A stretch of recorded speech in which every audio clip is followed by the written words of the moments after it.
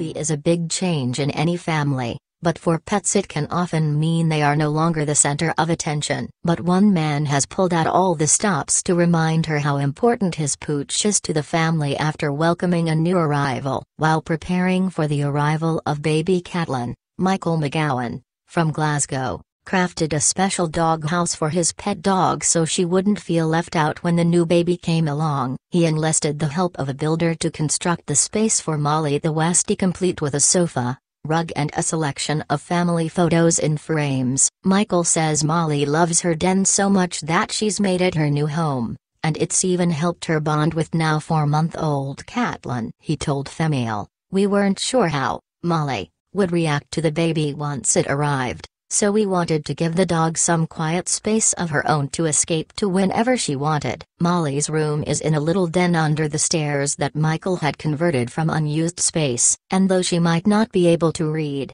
the room is decorated with signs that remind her how important she is to the family, including one that reads Wee Molly Dog and is surrounded my love hearts. She also has her own toy box, a welcome mat and a fluffy rug for her to curl up on if she doesn't fancy relaxing on her very own sofa, and the plush new pad went down very well with Molly, who is making full use of them. Michael explained, she loved it from the start. She often sleeps there for hours after a long walk and runs in there to get her toys when visitors come to the house. She still likes sleeping all over the house, but will go there when things are too loud when there's too many visitors, and the room seems to have done the trick, as Molly has gotten used to having a new baby in the house. Michael said, she is very gentle with her and has the odd sniff of her toes, but generally leaves her alone. The project has now been nominated for the Job of the Year Award 2018 by myBuilder.